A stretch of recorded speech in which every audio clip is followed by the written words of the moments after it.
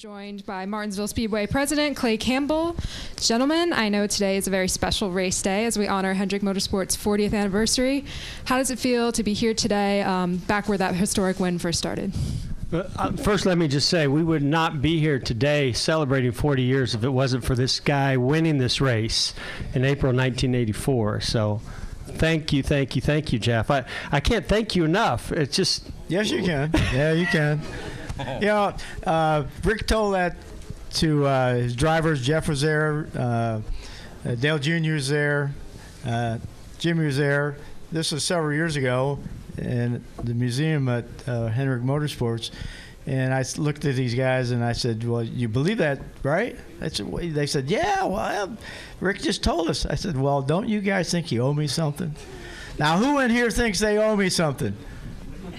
Well, my wife raised her hand. that was thank, babe.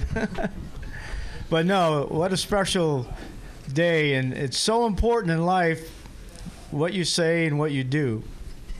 And if Rick Hendrick hadn't let us, he he told us that week before we weren't coming here. He said I was out of money. He spent a lot more money than he expected to have to spend. Of course, Harry Hyde spent it all. Who knew Harry Hyde back in the day? You're all too young. Yeah, a couple of you he's a great guy, great crew chief, and that's why I signed up with Rick Hendrick to work with Harry Hyde. I figured he'd teach me how to win. But uh, Harry convinced Rick the car was ready. Randy Dorton, the engine was in it. And uh, he said, You might have to buy a few tires. And of course, uh, who was here back in the day when I ran modifieds here in late models? A couple people, yeah. that means we're old guys and girls. Uh, but uh, Harry said, you know, Bodine won some races up there, and we might have a chance. And so obviously Rick let us come. He and his wife Linda were in Greensboro at a church conference of some type. Of course, we didn't have cell phones back then. And uh, this time of the year is my birthday month, April 18th. I accept presents. No, la- that's supposed no, to be no. Buy, buy some books. Buy yeah, some books buy for some your bu- birthday. Yeah, I, I'm selling books. That's how poor I am today. I got to sell books, all of it. Even has Jeff Gordon when he spun me out a few times in there. Thank you, Joe. Oh, man, I didn't know. We're going to get all the way into it. Yeah, oh, let's yeah. go. but uh, yeah, it's so important what you do and what you say in life. And if if Rick hadn't let Harry and I come here to Martinsville and we hadn't won this race, uh, just think about how many people that might have affected through the years. And it compounds as it goes on because they have kids, they have kids, they have kids, grandkids, and you know how that works. So it's important what you do and say. And we all mess up. We're all sinners. But the Lord's been good to me. He saved me 2000 in a little crash at Daytona. But he saved me several other times. I thought about three times in my life I was going to die. How about you, Jeff? I, I saw my life flash before my eyes a few times as yeah. I was heading towards that wall, definitely. So we're, we're blessed to be here, and this is a, such a special day. But then, okay, this race, this track means a lot to Hendrick Motorsports, right? In a good way, but not in there's a there's another bad side of that story. We all know that. So if we hadn't come here and raced, might not be a Hendrick Motorsports. That plane crash might not have happened. One day we're we're going to learn why all this happens, why things happen to us in life, and right now it's a question, but we can't change what's happened. But it's still important what we do. So when you guys and ladies put your pen or typewriters or computers to work, make sure you say good things about me. Gordon, you say what you want. you know, it's, it's neat. We're not racing now, and we had the 75th uh, uh, drivers at Talladega. It was so nice to talk to Jeff, to talk to uh, uh Rusty.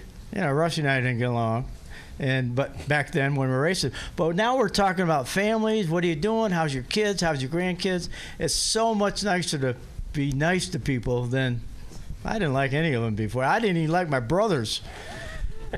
I love them now.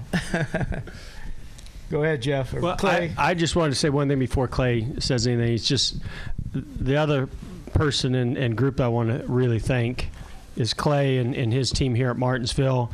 We started planning this, you know, several months ago, maybe a year ago within Hendrick talking about 40th anniversary and how we're going to celebrate it.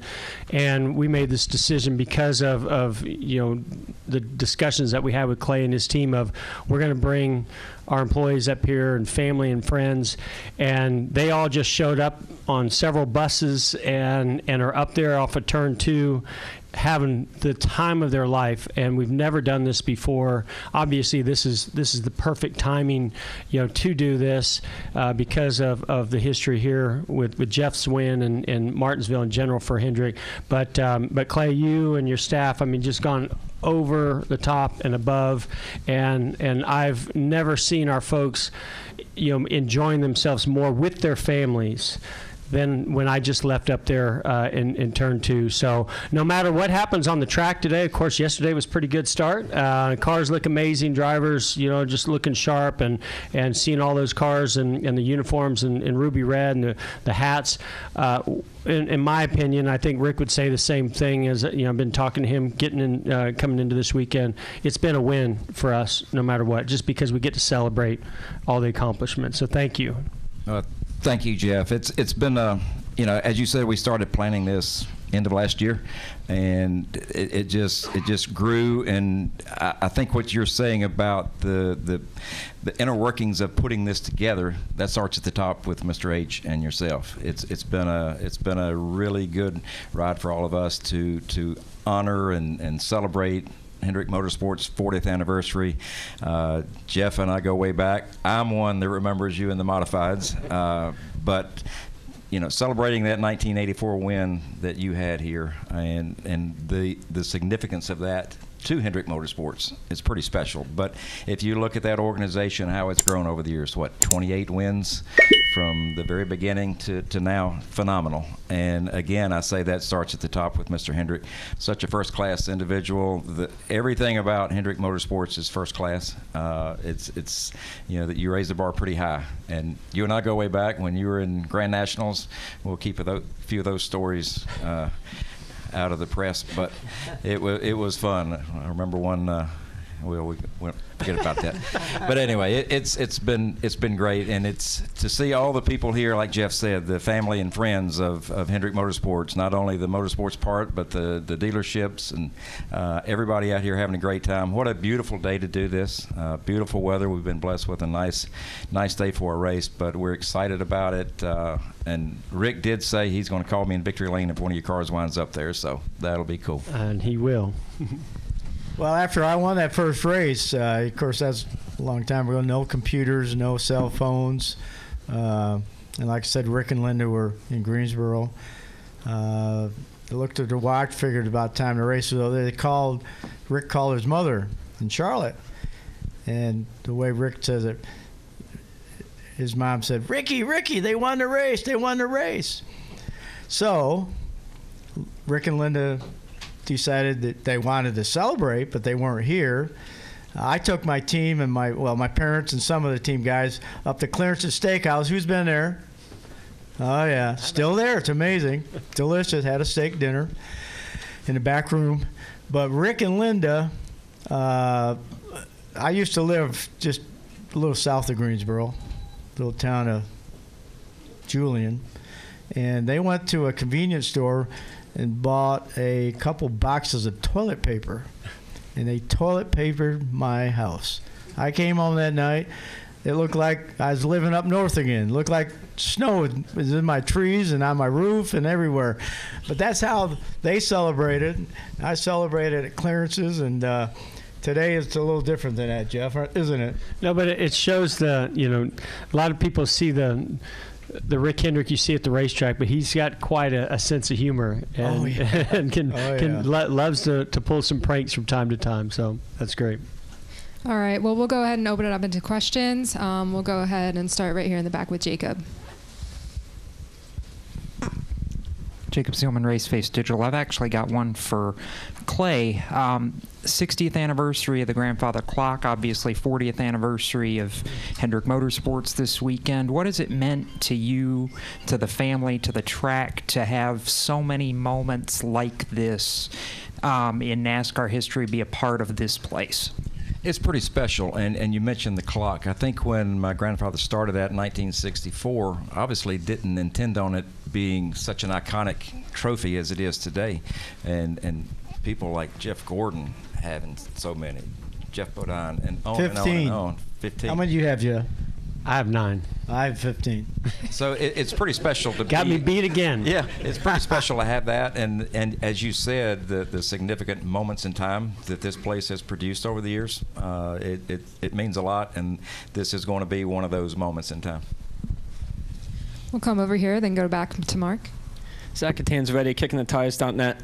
Gordon, I'm, I'm sure you've seen the pedestrian tunnel. Walking in here, about half of it is you. Uh, when did you find out that Martinsville was honoring not only you, but Hendrick in that way?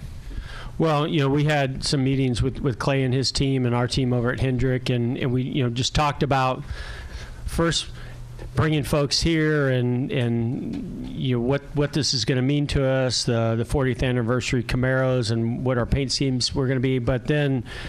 Clay and his team, they just they ran with it and, and started coming up with, with ideas and, and every time that I would hear a little bit about them, I was I was like, oh, that's amazing, oh, that's amazing, that's amazing. But um, uh, some of our folks came and did a site visit and and shot a video of that tunnel and sent it to me and.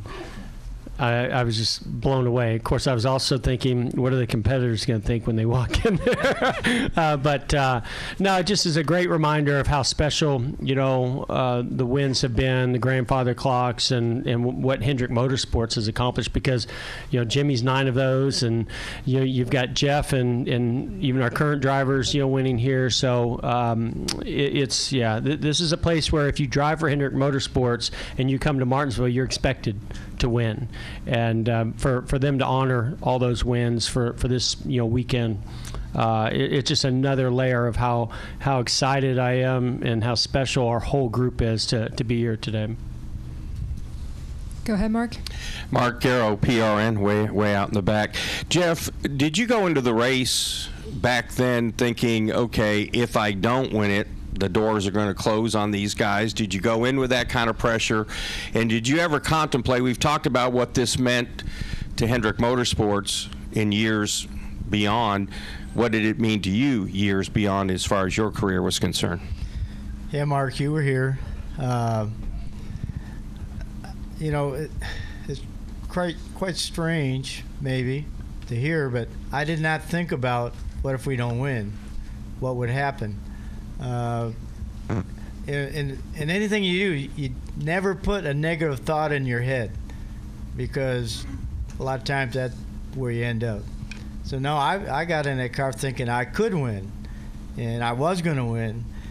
Uh, you never know, but we practiced good, and like I said, it was around my birthday. It might have been on the 18th, and I don't know. I can't remember the date, but we had a fan club meeting, and Harry grabbed the mic and Harry Hyde and said, "Well, Bodine's running pretty good, and I don't think we have a chance of winning."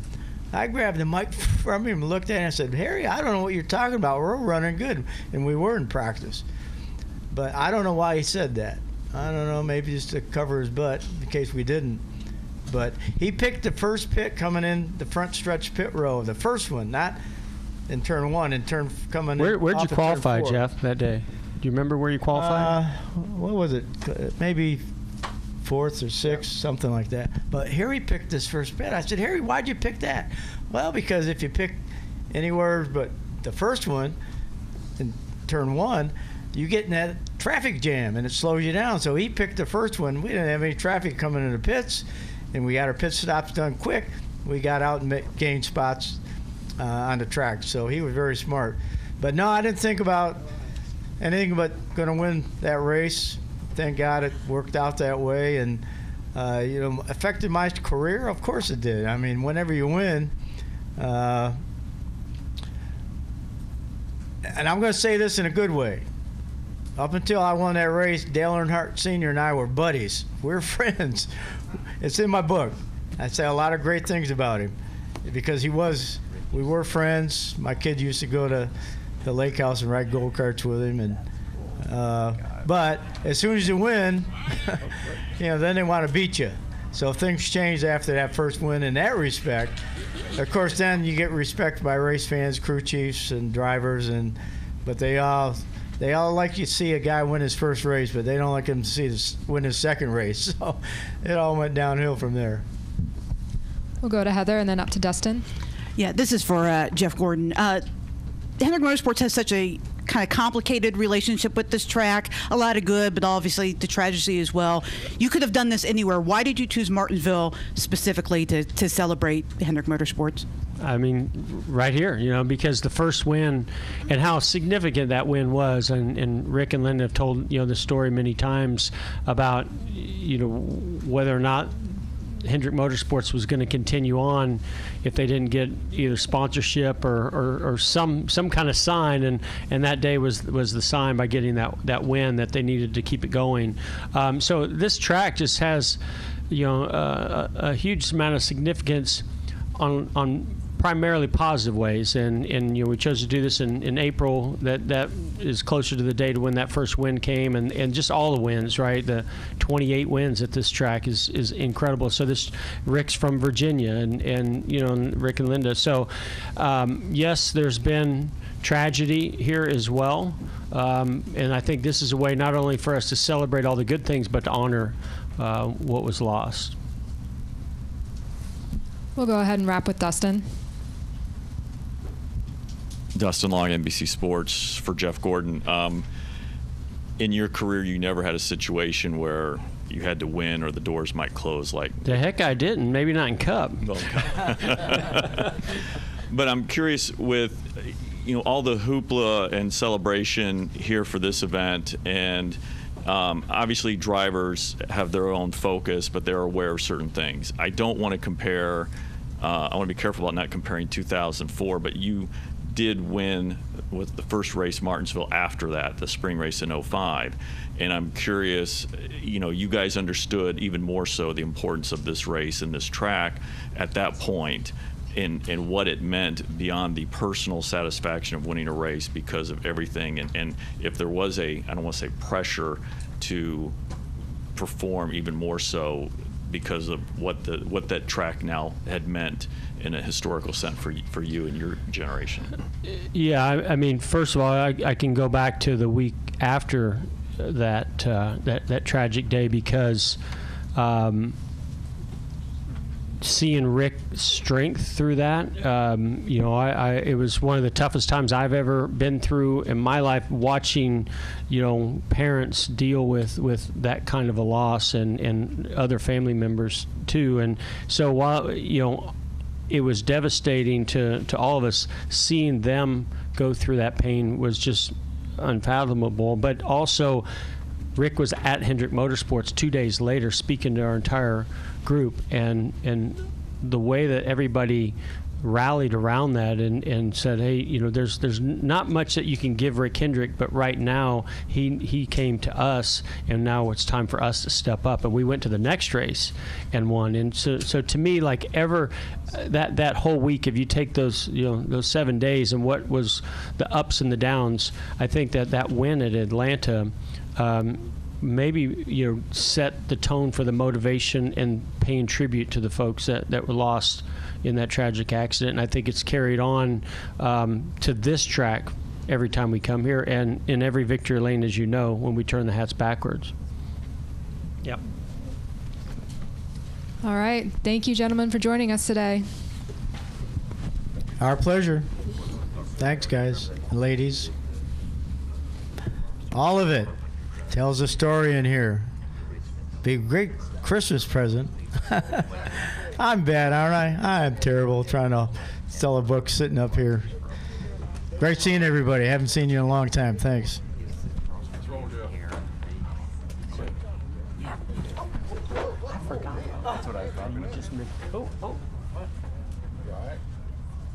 I'm just acting like Joe Biden.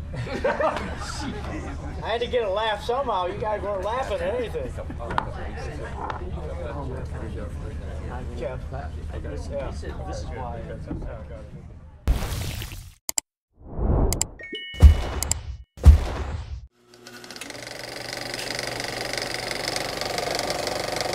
All right, there's the checker flag. Great job, driver.